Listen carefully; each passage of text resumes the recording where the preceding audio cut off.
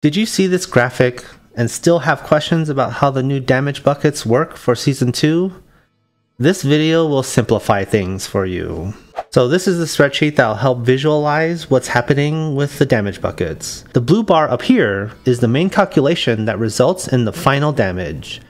You basically multiply these up all together and they calculate your final damage. The numbers below the blue bar are the stats that get added up together to make up the total for each bucket. And this structure is why crit and vuln were so good. You add 50 to crit damage, you break 300k.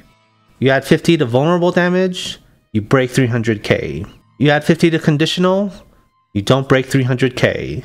That's just the way it works. And this is why crit and vuln damage were the premium stats and a huge problem in Diablo 4.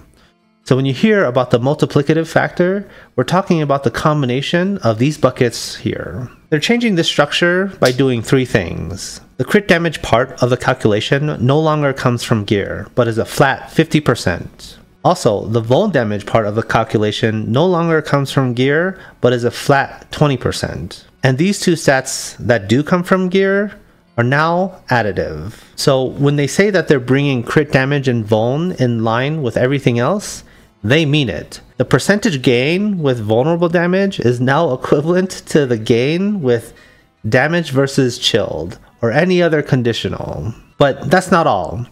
They're adding a new damage bucket that I phrase, Yo dog, I heard you like choosing your stats, so you can choose your stats while choosing your stats. Let me explain.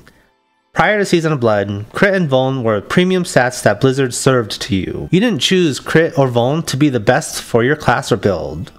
And with Season 2, you can now choose which stats become premium via the Paragon board. So taking one of the nodes that the Blizzard showed in their live stream, you basically activate this nodes and it adds these numbers to the calculation. 3% for damage with cold, fire, and lightning. And now these stats are premium because they now have a multiplicative effect. Another example is with ultimate skills. You activate the node and it adds these numbers to the calculation, turning damage with ultimate skills into a premium stat because now it's multiplicative. Now, even with all of this, it does lower damage across the board, and they are tuning monsters to this new baseline. And to be honest, no one wanted Diablo 3 numbers anyways, so I count this as a win. I hope this explanation helps, and thanks for watching.